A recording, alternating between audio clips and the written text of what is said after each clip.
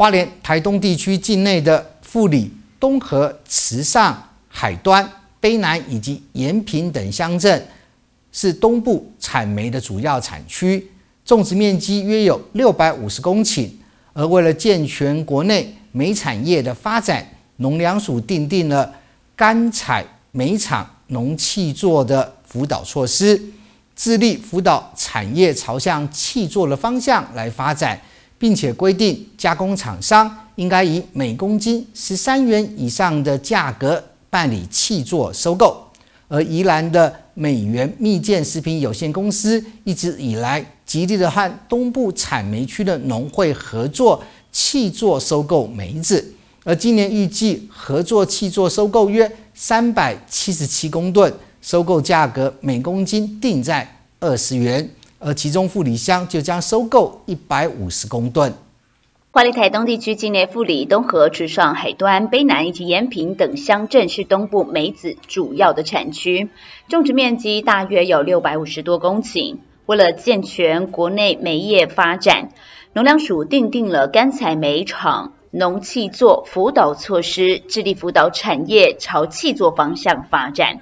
那光是就富里农会富里地区这边，我们就呃气作呃高达四十公顷，然后我们的收购量呃约约莫到一百五十公吨，所以我们当然希望越多越好，这样可以让呃我们农民有一个稳定的收入，那我们这边有一个稳定的原料，那我们可以共创双赢，让我们呃大家农民可以有呃赚到稳定的收入以后，我们这边也可以把这个台湾的优秀的农产品行销到全世界。规定加工厂商应以每公斤十三元以上价格办理气作收购。宜兰美元蜜饯食品有限公司一直以来极力与东部煤产区的农会合作气作来收购梅子，今年也预计合作气作收购大约有三百七十七公吨，收购价格每公斤定在二十元，其中布里乡将收购大约有一百五十公吨。会呃在台东这边呃新建一个新的加工厂，就是因为我们发现我们东部的梅子其实是非常好的一个产品，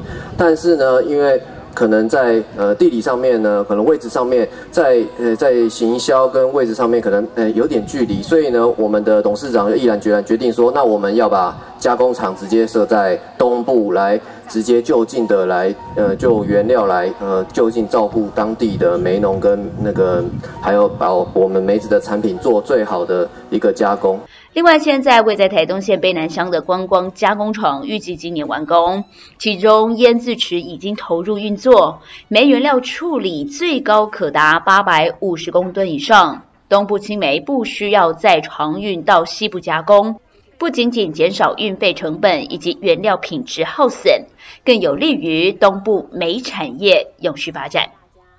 记者高双双、碧香采访报道。